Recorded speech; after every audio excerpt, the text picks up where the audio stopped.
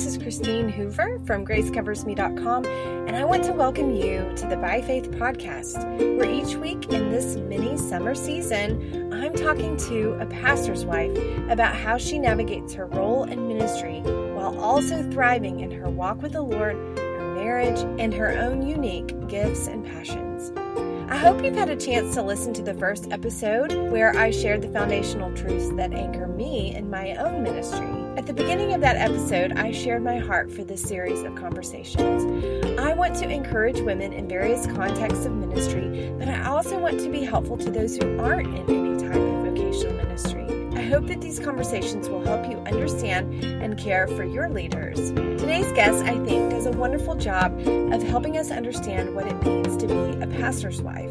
Her name is Kirstie Dates. She's the wife of Charlie Dates, who is the pastor of Progressive Baptist Church in Chicago. She's also mom to two adorable kids that you can see on Instagram, and the owner of an online shop called Preacher Monday, which is a collection of art and stationery that, as her tagline says, is inspired by the pulpit and intended for the people. You can find her collection at preachermonday.com.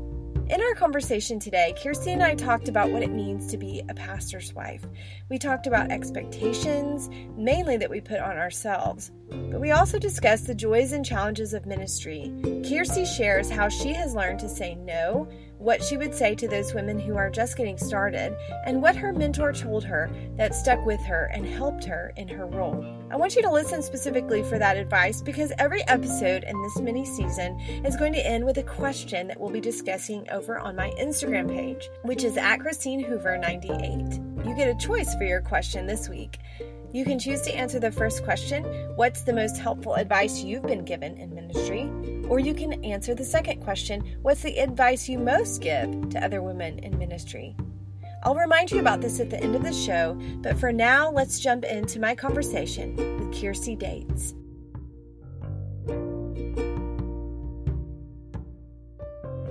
I'm so honored today to have Kirstie Dates on the podcast. Hi, Kirstie.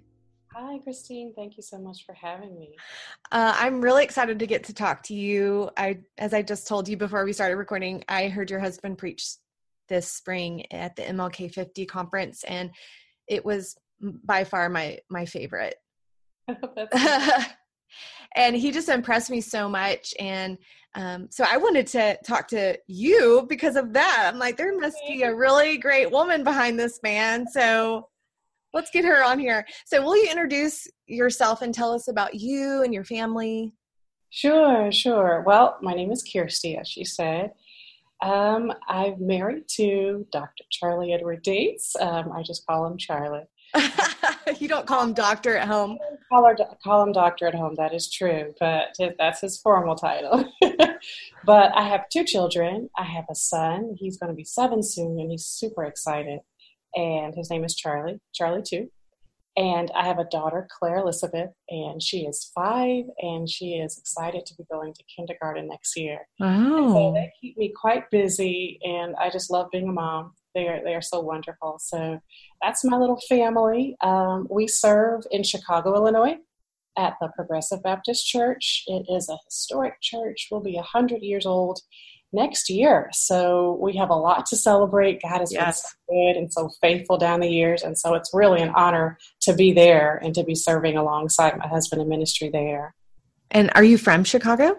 I am not from Chicago. I'm from Champaign, Illinois, which is about two hours south. If you've okay. heard of the University of Illinois, that's where we met. so we got married and we moved to Chicago, where my husband is from. So, okay. So you were going to college there, and that's where you met your husband? Yes, ma'am. That's where we met. And um, actually, he took me to my high school senior prom. So he was the coolest college guy at a senior prom. Oh, no. and I was the coolest senior to bring a college guy uh, as a date. So that was fun. But we dated throughout college and in his divinity school season. And then we got married a little later after that. Now, did you know when you were dating him that he mm. was going to be a pastor? I knew that he'd been called to preach. I did not know how soon after we got married down the road that would be um, in the books. So we actually served at a church here in Chicago for about five years before he became the pastor of Progressive. Mm-hmm. So it's it's been a good journey. Yeah. So you said it's a historic church. So tell us some a little bit about Progressive and what your church is like.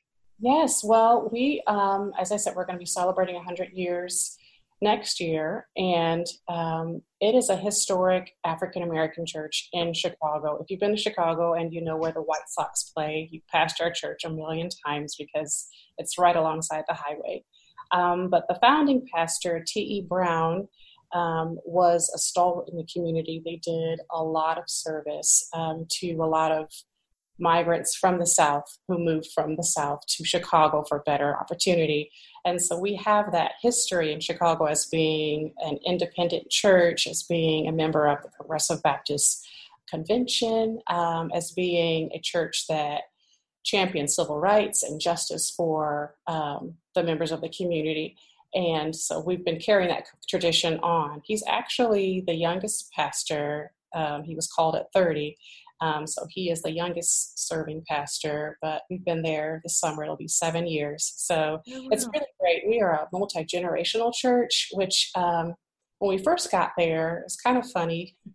The deacon who was involved in our transition was like, Congratulations, you guys have basically um, brought the average age of the church down because we joined and we were kind of young. So, but what's been really great, great to see the transition and the growth and just young families join and just seeing that everyone really embracing where the church is going. So that has been quite wonderful to watch the past seven years. Mm-hmm. Yes. That's great. I really enjoy being there. I well that's good. It's always good when you hear a pastor's wife say they enjoy the church where their husband serves. Yes, yes. Because not everyone can say that. That is true. That is true. But I can say the same for our church that I I would be a part of this church even if my husband wasn't the pastor, which yeah, yeah. which I love. Same, yeah. I think I could say the same. I think the people are wonderful. I think everyone has um, their own reasons for doing what they do. And so it's been quite interesting embracing those traditions and embracing um, where people are and encouraging them to embrace the younger people and to keep mm. moving, you know. Mm. So, so it's been a good journey. Yeah. Well, I'm imagining putting myself in your shoes, mm-hmm. coming into the church that you just described.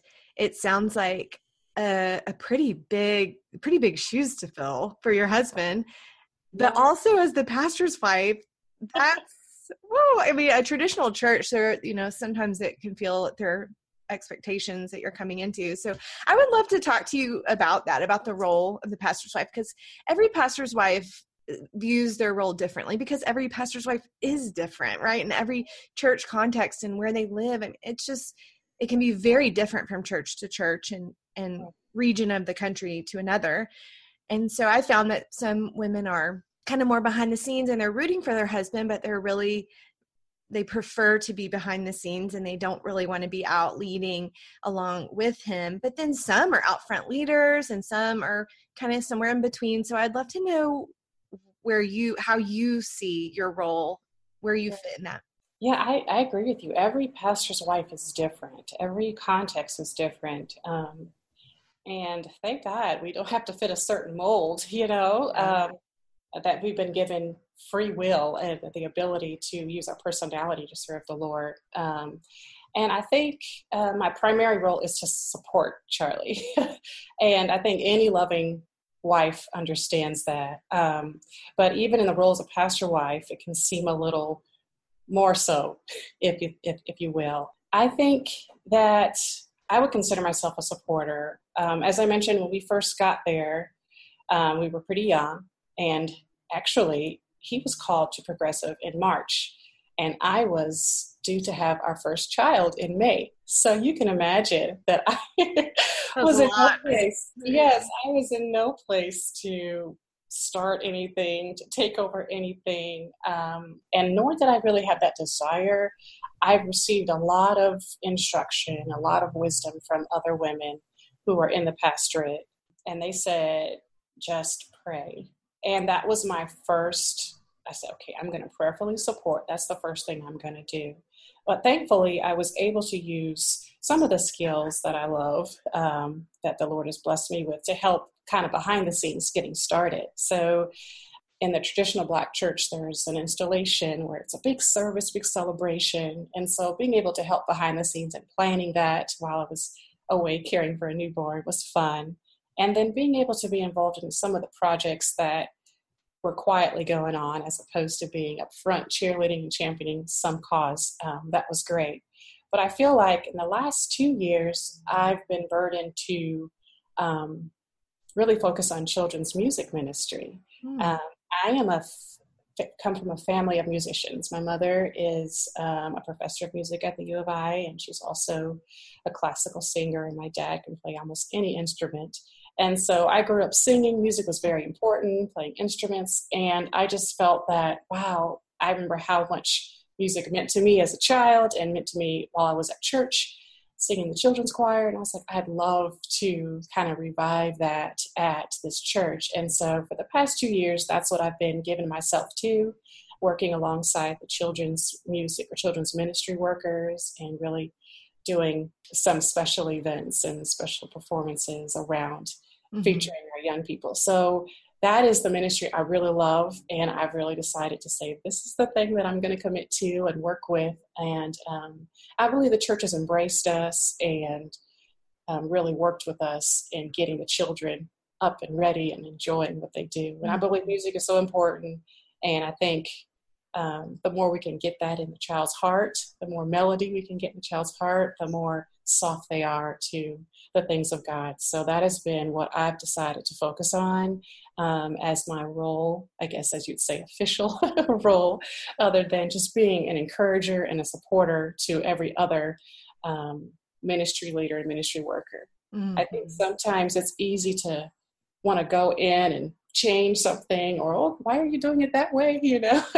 But i think what people want what church members want from their pastor and their pastor's wife is you're doing a good job. Keep on working for the lord. God is pleased. I know that he's getting the honor and the glory from what you're what you're putting in. So i think that has been my my main thing and i continue to do that even now. I've taken on the mantle of being over the children's music ministry so. I love how you touched on both official and unofficial. Yeah. because sometimes we don't have official roles but we always have unofficial roles and i would say not just roles but opportunities to bless people in the church. I love how you talked about just encouraging people that we have. I feel like our words hold weight when we when we encourage somebody in the church. Yeah. it's it's a special word to them because it comes from somebody who is leading and who has influence so i love that um, but i think do you ever find that it's hard to navigate uh, expectations that if you say oh i love music and this is my heart and this is what god's gifted me for but do you have there been times where people have said oh we wish you would do this or this is what the old pastor's wife did and yeah. h- how do you how do you navigate that kirstie yeah. well what's interesting is i've not had that blatant um, this is what you should do i think for the most part i've had my own internal yes. oh seen this done. Maybe I should be doing that. Um, and it's a very uncomfortable feeling when you feel like, oh, should I be doing this? Because you see a void. Or you feel like, okay, I may have an inkling toward that, but I don't feel as confident to take on that role or that project. Um, and I think it's been more of an internal thing for me rather than external, thankfully. Um, some of the mentors that I've embraced have just said, Do you be consistent, pray, and support? And I think it's often easy coming into a situation wanting to help. I think women, we, we want to help. We want to get our knees and elbows dirty and just go in wherever we think there's a need because we're so used to filling it. Um, but for me, it's been okay, Lord, yes, there's a need, but is this what I need to be doing? Mm-hmm. Uh, is this going to take away from how I'm serving at home, how I'm mothering, how I'm being a good wife? And sometimes I have to say, check myself like, am I wanting to do this because XYZ? or am I wanting to do this because I'll be seen or I'll get the kudos or I'll need that affirmation from this group of people? Um, I think it really is a heart check and you have to be committed to hearing from the Lord. Mm-hmm. If, if you're not, then you'll get into various projects and you'll just run yourself. thinking that oh it was a good idea but it really wasn't a god idea it wasn't what he placed in your heart so um, being prayerful and being intentional and making sure internally you're doing things for the right reason mm-hmm. versus what you think needs to be done is is a steady walk and i don't think you i guess arrive at that early. It's kind of an ongoing kind of journey. Absolutely. I've been doing this for 20 years almost and i still feel like i don't know what i'm doing and i'm learning as i go.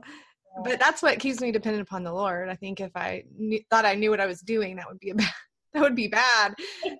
So would you say that the challenges of the pastor's wife role for you are mainly that internal wrestling or what um, i'd say yes i'd say also a challenge would be um, being the same as everyone but being different as well as being the same.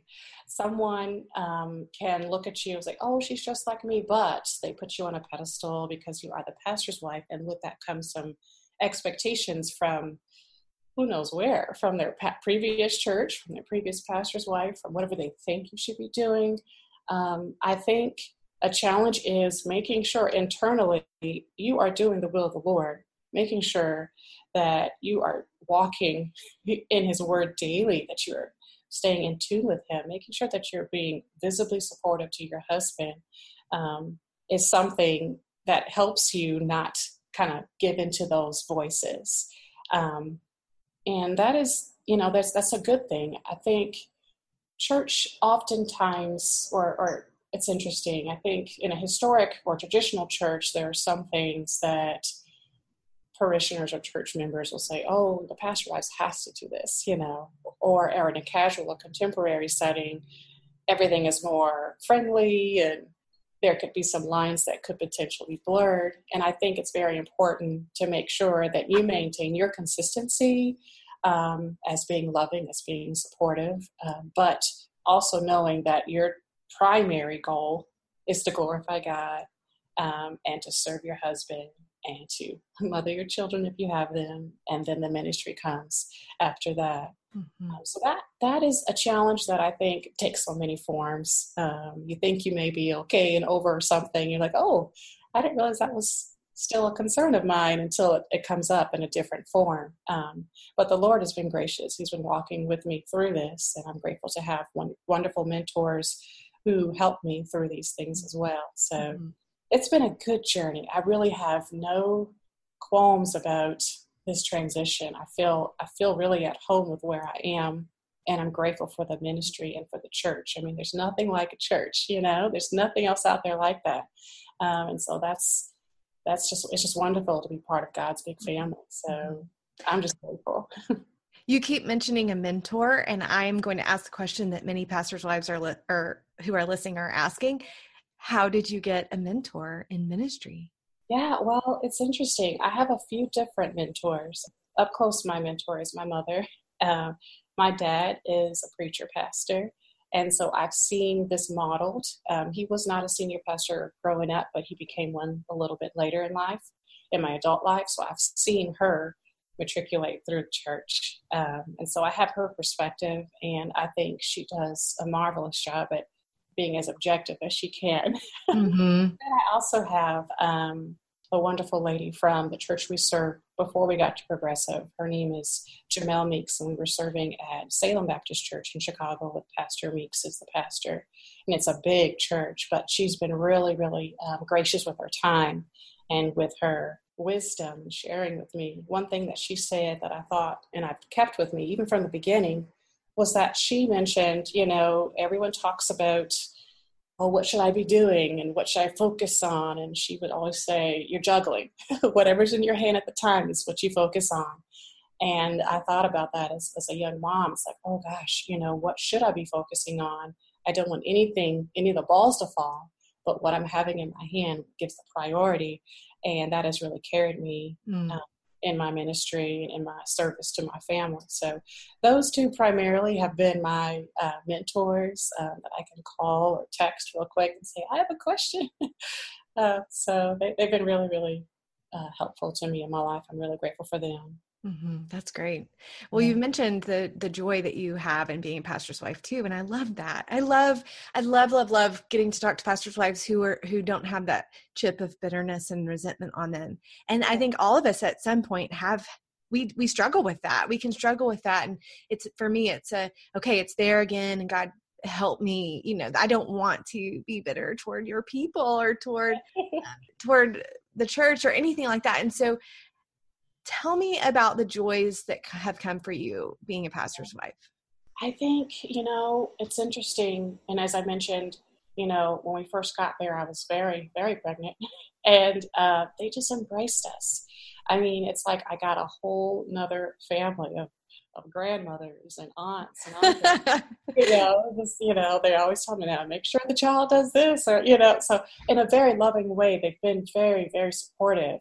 And I think that is something that, you know, everyone does not experience. And so I felt like, okay, Lord, you're winking at us. Thank you for this opportunity. And also in conversations with, with church members and seeing how we're all like growing in Christian fellowship, I think those are God winks too.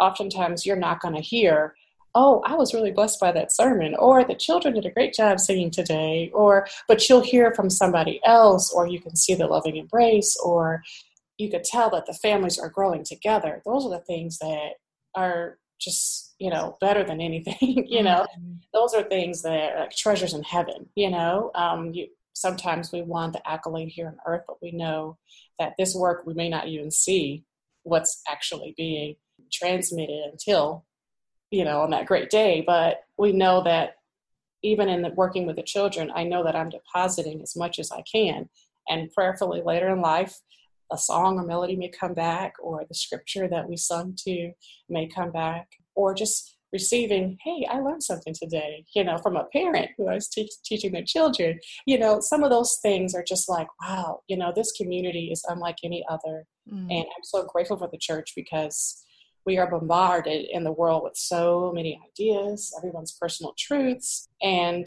those things can become overwhelming. But I think when we come together as a church, we have this common hope and we get to share our hope. And so that has really been the joy of um, being in this role and just the joy of seeing my children grow up and enjoy church. That's so important to me as well. Mm-hmm. That's beautiful.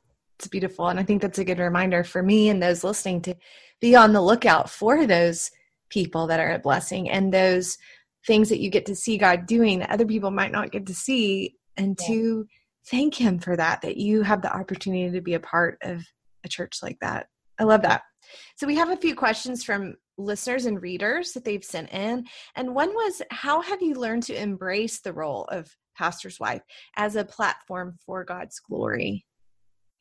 Yeah, you know, um, this question was interesting for me because I was like, I never thought of it as a, a platform in that sense because I feel like, especially today, everyone claims to have a platform. you know, um, I feel like I've embraced my role as a wife first, and my husband happens to be a pastor. Um, and that's kind of how I first look at it. And I've known this for a while, obviously, because when I was dating him, he was preaching. Um, and so I knew that this was potential in our future. But I felt like my importance to him is serving our family. And I think oftentimes we see or we view the glory of God as like this the world seeing something grand that we're doing, that we're doing in front of millions of people, having, you know, millions of followers, and we're preaching, we're speaking at this conference and that kind of thing. But I really believe that I bring God most glory when I am lovingly serving my family. And when I honor my husband, I bring God glory when I'm patient, when I'm serving my family, just the everyday, as what Christy Nockels says, the glorious and the mundane. You know, I'm serving my family, and I believe that's the most honoring thing I can do to bring Him glory. Now, do I see it as an opportunity, as you mentioned, to bring God glory in this role? Yes, I, I'm very prayerful, prayerful about the influence that I'm able to have in this in this role and how I should use it. And I think the Lord has burdened my heart right now to use it with the children mm-hmm. in the ministry of music. um, but I'm also involved in the women's ministry as well. But I don't see myself as like over the women's ministry or a teacher or things of that sort. I see me using my gifts in this way, and I think if I'm able to do that, that's going to be a blessing to others. Mm-hmm. And I think I would just encourage women who are in this role to just determine to give God your best. you know, not get caught up in the performance thing because we are already significant in Him because we are truly and deeply loved by Him, but just determine to say, I, I want to do everything I can to bring you glory. And, and every little thing that you set out to do, try to do that. Mm-hmm. Uh, it doesn't have to be a, a big thing, it can just be the everyday thing. And I believe that when you have the opportunity to do whatever that big thing is, um, the tracks that you've made in the everyday, that's going to set you up for um, what God has for you. Mm-hmm. So mm-hmm. don't seek the opportunity, just let it come to you if, if you have that, but really enjoy being who you are and where you are mm-hmm. in the mm-hmm. present moment. Mm, that's so good. I think part of uh, embracing the role is not letting the challenges become the focus. Right. Saying, Jesus, you're worth these challenges. We're, you're worth what this can sometimes cost me. Mm-hmm. And so, how have you learned to do that? I think the Lord has been helping me with just the intentions of heart you you you mentioned you know you're worth these challenges. Well, i think in light of what god has done for us in light of what jesus done for us on the cross it's kind of like wow for you to bear all of that for me surely surely i can deal with this difficult person. Yes. Surely i can deal with this difficult situation because you've given me the strength to overcome. Yes. And you've given me hope to overcome. Um, we know that there's glory after this. And so, whatever this is, God has given us the strength to endure it.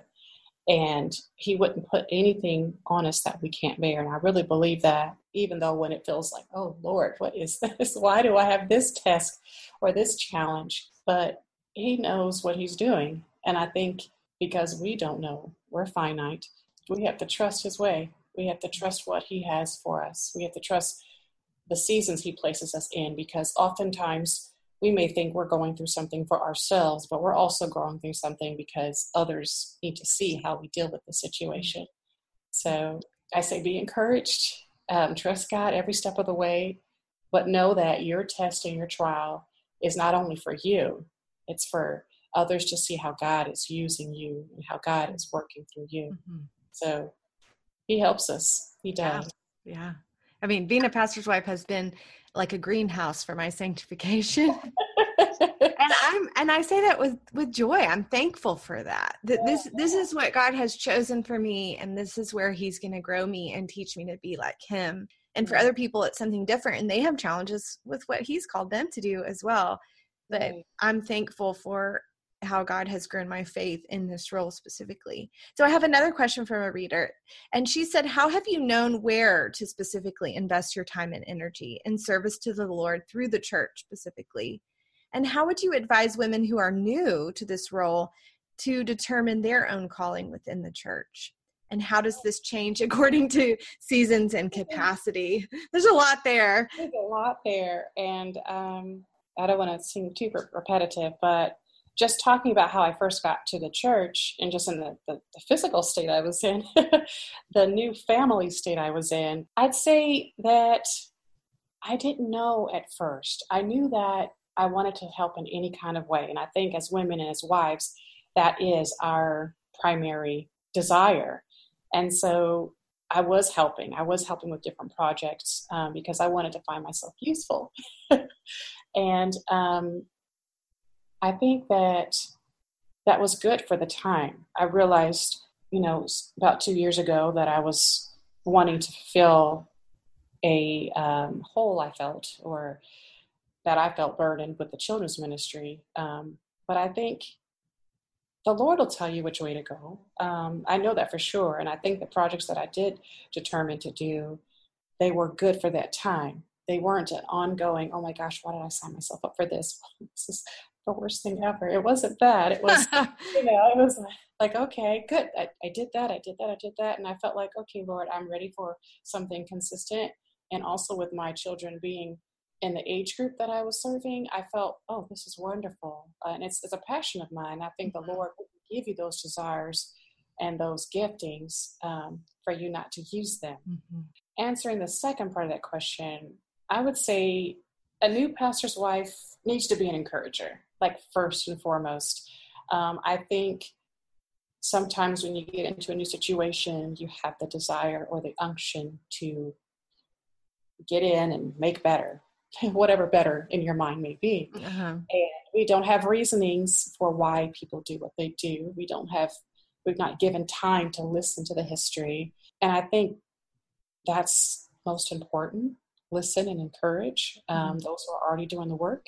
Um, be be as supportive as you can of them. That don't you don't have to join the ministry, but support in the ways that are comfortable with you, um, comfortable for you, and um, I believe God will honor that. And then, as in my situation, He will give opportunity for you to use your gifts to serve the ministry. So um, that's what I would say. But you know, the capacity and the seasons, I'm still figuring that out. You know, with being seven years in, um, I think I'm in a we're in a great season now, um, and just learning the congregation, moving things forward, and knowing that hey, for me right now with my children, that's where I want to serve. I want to be in a place where I know that I can impact them not only at home, but they see their mom serving in church as well. So that's what I feel I am this season. Um, I'm not saying, I'm not limiting myself to um, just this. I'm open to what the Lord may have for me in the future, but I'm pretty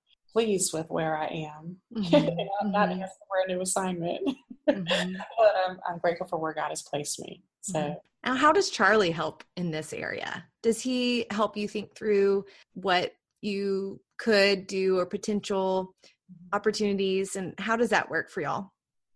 I think he's he really is the best. We do have a lot of conversation about what I could do, um, what I've been gifted with doing. I feel like I'm using the season right now to really establish the home front, making sure our home is a haven for our family and for those that we come in contact with. But in terms of how I am, and he really embraces what I do at the church. Um, and sometimes I'm like, dear, you don't have to mention me. I'm, I'm, okay. People see me, I'm fine, you know. But he's like, the prettiest woman in the world is over at children's music. And I'm like, okay. Uh, he's really supportive in that way, but he's really supportive in some of the goals and desires that I have outside of, uh, I guess, church life. And so I'm grateful that I have someone who doesn't say, oh, this is what you have to do, you know. But I think we, we kind of balance each other in that and uh, having different personalities, I think we really do complement each other. So I'm mm-hmm. grateful for our marriage and how we get to um, serve the Lord together. That mm-hmm. really is something, right? I mean, that's one of the joys of being a pastor's wife is you get to be a part of what your husband is doing. My husband always says, if I was a copier salesman, you wouldn't know anybody I worked with, any of my clients. You know, you'd be a separate life. And I do love that we get to do it together as a team. Yeah. I love how you've brought out you've brought out multiple things of you've talked about gifts and personality that God gives us that those are clues to how he might want to use us. You've talked yeah. about your husband and how he helped you think through that. And I think you've also I like how you talked about the juggling what your mentor said about what's what's in your hand right now because I think that also is a clue for us that uh, you talked earlier about constantly reevaluating and and thinking through i do think that's true that it changes all the time but we yeah. do have clues by based on what's in our hand meaning small children as you've talked about or what our husband's needs are in that in that season but then also gifts and, and abilities and and i love how you said god will tell you that we don't have to worry i think for me i've I've tried to jump ahead of him so many times trying to make my way or mm-hmm. figure it out. Or, as you mentioned, uh, I'm wanting approval from people based upon what I do. And I think if we can just slow down and be prayerful and look yeah. at the clues he's given us, he's going to make it clear and and give us those opportunities. So i love how you've pointed those things out. But i do think also we want to talk about limits because mm-hmm. someone asked about that as well. And we've we've we've touched on it a little bit but i would like to know how how you respond when you know that the answer is no. How have you learned how to say no and what do you actually say when there's something presented to you that you you you know pretty quickly this is not something that god is asking me to do what do you say yeah, um, those have been difficult because I can unknowingly nod my head. People read that as yes. but sometimes I'm like, I don't even know how to respond in the moment. Um, I think I've gotten a little bit quicker with my no. Um, early on, I was, oh, well, let's see, you know, um, and that would give people hope. and I'm like, oh gosh, why did I? Why didn't I just say no? Because I, you don't want to be a no person. But I think, you know, when you say yes to something, you're saying no to something else. And oftentimes, if you're saying yes to something, you may be saying no to the more important thing. And that has taken me a while to get to understand. I think with having children and having a very busy husband, um, that has helped. that has helped say, well, today, you know, today is not a good opportunity or not a good time for me to do that. Or I don't see um, that really fitting into my schedule, or I may recommend somebody else for them to do. And, you know, I'd love to introduce you because she really has a heart or a passion for this. Um, I'll follow up with you with this person, and that kind of, you know, detaches me from it. Um, but I've gotten a little bit better at that. But it's it's kind of like a every situation kind of thing. Um, and oftentimes it's, you know, who's asking, you know, you sometimes have to consider, oh gosh, this is coming from mother so-and-so and, you know, she bakes us pies and what does she want to, you know, so it's kind of like, oh gosh, you know, um, am I saying no because I'm in a mode where I'm just, I'm just, I am um, over it. I am up to the full. I, I have no space or capacity for anything else or am I saying no because I don't want to deal? you know, so kind of realizing, recognizing what does your no mean? Um, and sometimes a little yes for this one thing is like, okay, that meant so much to them that I did that. But realizing that if I say yes, I'm saying no somewhere else. Um, and that sometimes doesn't always come to the front of mind, but I do have to sometimes come back and say, you know, I may have agreed to this, but I really have someone else in mind who's perfect for it, mm. which willing um, to give this person a call. And so that has kind of helped me um, with some of that pressure, as if you would say. Mm. That's great. I love that script. You kind of gave us a little script right there. Yeah, I, I love the con- the idea of connecting other people to the opportunity. Yeah, and I think I think, um, especially sometimes traditionally in a black church, African American church, the first lady, as they call her, um, is, you know, like the first lady of the church. And oftentimes they figure, oh, I want first lady to do this because it gives some credence to my project.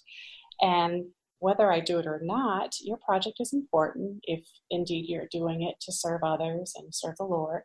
But I don't have to be the one to give it approval. You know, it's like if I can't get the pastor, maybe I can get his wife. Well, sometimes that's not the best way to go about, you know, getting whatever you feel like you need to get done. Um, especially if the pastor's wife is like, that's that's not what I'm going to do. I know that the Lord's not called me to that. I know that that's not the best use of my time, but um, there may be somebody else here who has a great gift that she could use in this venue, and yeah.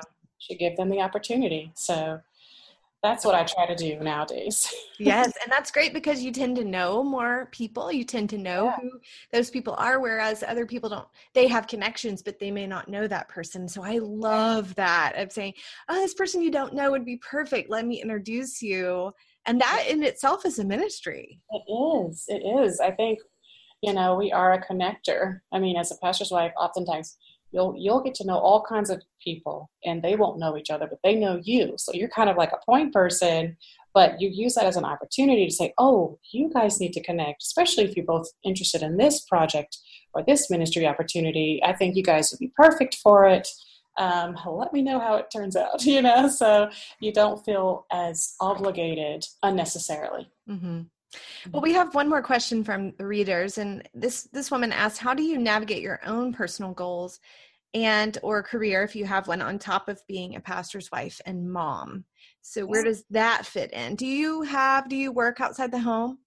I do not work outside the home currently, but as I was saying before, I think the Lord gives us gifts, not to sit on them, but to use them in ministry. And I would suggest that you have to be sure not to compartmentalize yourself. And I think maybe there's a root in this question of how do you not become resentful of the ministry? Because the ministry oftentimes will take a front burner and you feel like, oh, well, I'm doing it for the Lord.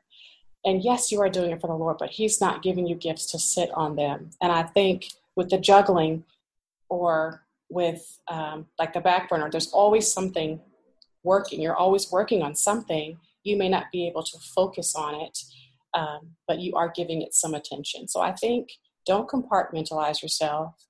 Don't say, oh, well, when I finish this project at the church or when this event is over or when I'm done with this ministry, conference i can get to work on this or or whatever the case may be when you don't know when that's going to end you know? Only god knows the t- true timing of things. And i think we have to realize that it could take longer than you think and you may not have time to work on that passion project and then you feel you feel a little down about not finishing or pursuing something that you want to do. Uh, so i would encourage you just to keep your sweet spot going, whatever that is. If you're a creative, do something that keeps you creative. If you're working outside the home, um, find places in your work, in your career that keeps you going. Um, I think we have to be mindful of how much we contribute to the world and we give, give, give, but make sure that you're doing something that fills you up as well. And I think as a maturing believer, we know that God has not called us to live in either or life. So either I do this, I can't do that because I'm doing this. I think if we're able to fulfill what he's doing, what he's asked us to do, we're able to give him glory. I think that's what he wants us to do. And I can say this, you know, we just have to trust his timing, being prayerful about what is we're doing, being deliberate, always working. Um, but it may not be what you're focused on at the time. Um, Yes. But I think we thank God that life is a marathon, not a sprint, right? Um, and if you remain true to the process, you're making progress. And so I can just say, by example, I just recently opened an online shop, and it is um, an outlet for me to be creative. And mm-hmm. uh, it came as a result of my desire to serve those in ministry um, because I know the day to day, I know the week to week the weekends, Sundays. I know what this role is like. And I felt, wow, this is an opportunity for me to actually serve the ministers and their families, also while fulfilling my passion for being creative. And so I think I didn't come to that until I realized, hey, I see a need that I can fill. Um, and I believe the Lord has given it to me to do so. And I'm really excited that I'm able to do this and also serve in ministry as well. So, mm-hmm. kind of combining things together, yeah. which yeah. is great. Tell us about the shop. Yeah, it's called Preacher Monday, and I know you know about that, Christine. Preacher Monday, yes. A Preacher Monday is actually the day where a preacher or pastor gets to rest, Well, supposed to rest, because they spend pretty much all week, especially all weekend, Saturday and Sunday, serving others. That day is usually when they have their rest or Sabbath. So my idea behind this was to create an avenue where people can be encouraged through stationery, through art, through home goods, and um, just really encourage the encourager. Mm. So I felt, wow, this is something that I can do, and um, people can be blessed by it. And I feel like I'm serving our family, and I'm also serving the ministry as well. So I, I know the needs of the pastor, I know the needs of the pew, and I really want to do something that could benefit everybody in this mm-hmm. in this market, in this niche market, in this ministry, as as you say. So that's great. Well, I'll put a link to it in the show notes for everybody. Yeah. Great. Thanks so much. Yeah. Well, any any last words of advice? I'm kind of thinking, what what's the thing that somebody your mentor said or some truth that that you've learned from the lord as you've walked with him that has that really holds you and helps you in ministry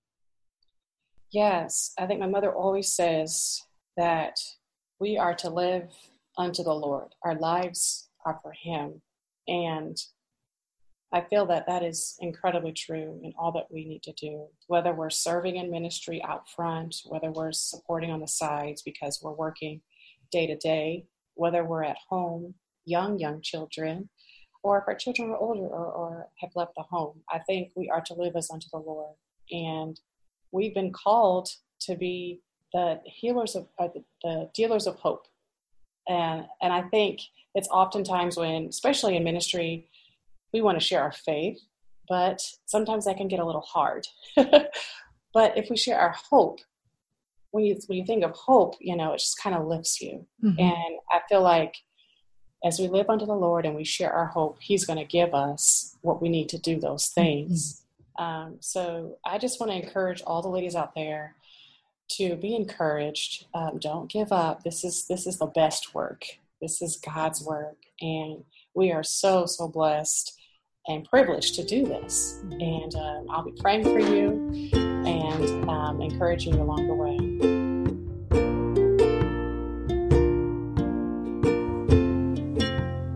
I really enjoyed my chat with Kirstie. She exudes joy and a settled peace that I'm sure you could hear in her voice. You can connect further with Kirstie through her website, preachermonday.com, or simply scroll down to the show notes and click through the links to her Instagram or her website. You'll also find ways you can connect with me there. And I'd love to hear your feedback, whether it's a question or something that resonated with you from today, or a review on your podcast platform. You'll definitely want to head to Instagram, look for me there at Christine Hoover 98 to answer the question from today's episode. What's the most helpful advice you've been given in ministry? Or what's the advice you most give to other women in ministry?